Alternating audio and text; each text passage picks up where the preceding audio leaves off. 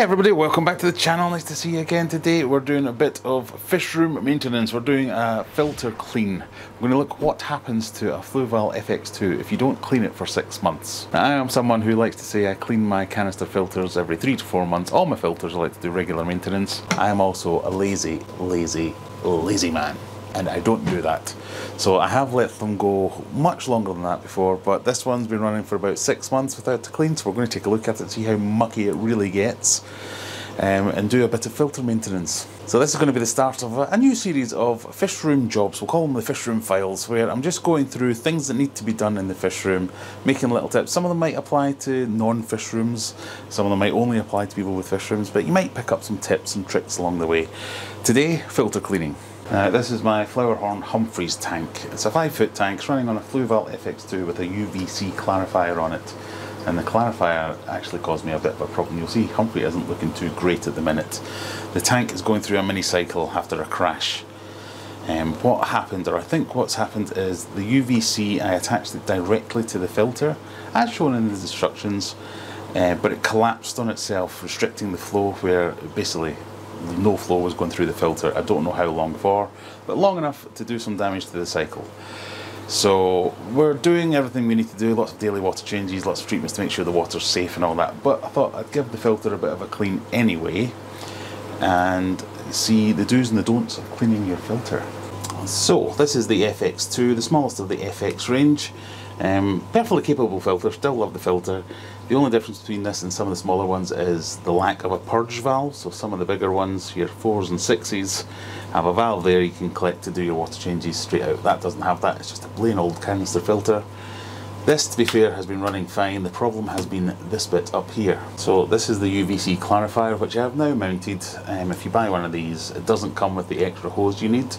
It comes with the instructions where you mount it with this valve attached directly to the FX2, 4, 6, whatever one you've got. And what had happened is when I had connected this directly to the filter with this hose, this is kind of soft malleable rubber and the weight of this with water full of it, it collapsed on itself and created a pinch point where, yeah, just stopped any flow going through, which was a bit of an issue. All sorted now, cut an extra bit of hose off here so I attached it and mounted it in under the stand, under the tank on the stand and since then it has been working A1 OK. So, filter maintenance. With all the FX range, they all work the same. They all have these valves on the top, one in, one out. This is in, this is out. All we want to do is close these valves first off. Before turning it off or anything else, close these valves, which is fairly easy to do with a turn.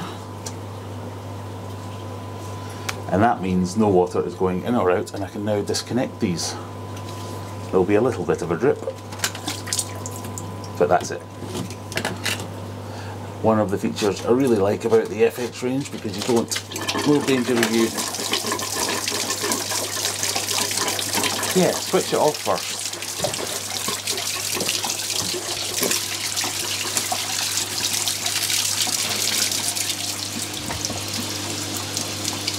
Never claimed to be a smart man, so I was about to say that's one of the features I like about this is there's a very low risk of flooding the place because of these valves.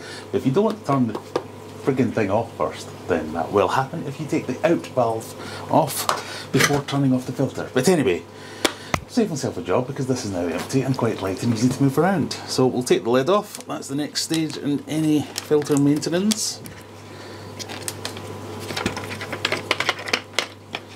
Have a look at the damage and see how truly disgusting it is.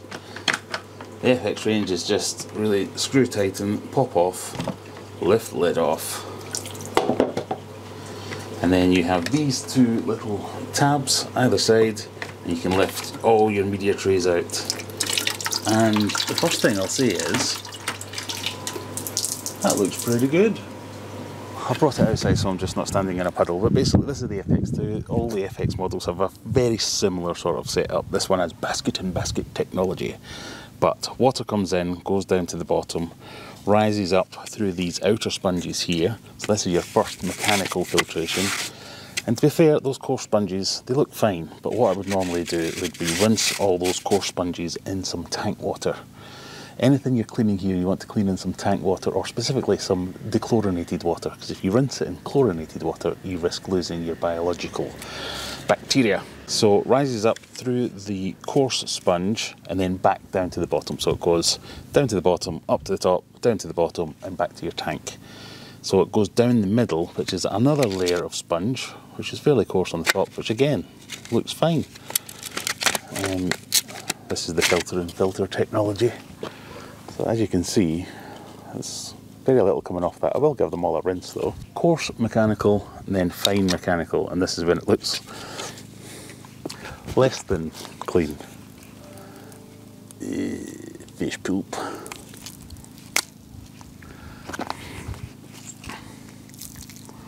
That is grotty as all hell, caked in fish poop. Um, I've seen arguments about whether you have your coarse mechanical, fine mechanical, then chemical, then biological as the order for your filter media. I've kind of always done it like this, or I've tried everything, but hasn't made all that much difference if I'm perfectly honest, that I've noticed. But I like this, that the mechanical, this crud here, isn't clogging up your biological filtration media, which is the next tray. And in this one, I've just got some stuff that came with the filter. So Fluval sent me all this. And as you can see, that looks pretty clean. Quick rinse and that's it, cleaned. It's not got all that fish poop mucking it all up and clogging all the surface area. And then last thing is another finer sponge.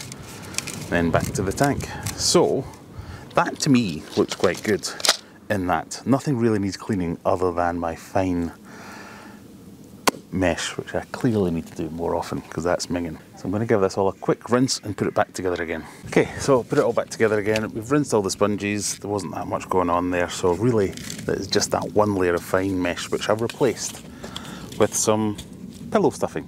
So go to your local supermarket, buy the cheapest pillows they've got that don't have any treatments at all. Rip it out and you've got loads of this stuff. Cheapest chips. So that goes back in there. So that's my top level and then my bottom level is again just the finer, uh, finer sponge biological media. I can mess around with that if I want and put more biological in because there's quite a lot of sponge here.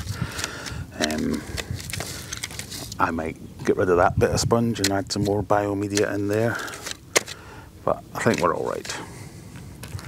Back in the filter, fill it up with some water and away we go. For putting it back in, you basically put this in, slot on the lid, and then on opposite sides, start to tighten it up. Just that way you don't get too much pressure on one side. Sometimes you can pinch the seals, so just watch out for that. As you can see, I'm very leak averse, so I don't want to spill any water. Um, I've never needed any tools or anything to tighten these up, just get them nice and tight by hand tight. And we're good to go. Just a case of reattaching the valves in and out. Open the in and that will fill the filter because it will be siphoning water from the tank. Put it back in position.